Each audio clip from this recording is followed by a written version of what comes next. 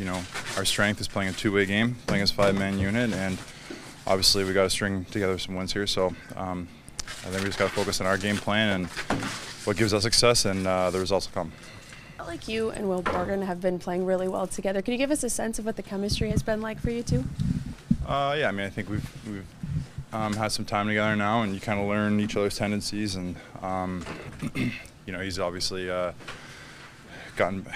God, it's so awkward. He's sitting yeah, I mean, it, has been good. I think, um, like I said, we've played, played together for a while now, so um, kind of familiar with each other's tendencies, and it's been an advantage for us. We knew coming into the, the stretch of the schedule, uh, with uh, with the quality of, uh, teams that we're playing, with the busyness of the schedule, uh, that it was uh, it was going to push us and challenge us, and it has. And we've come up short on some nights.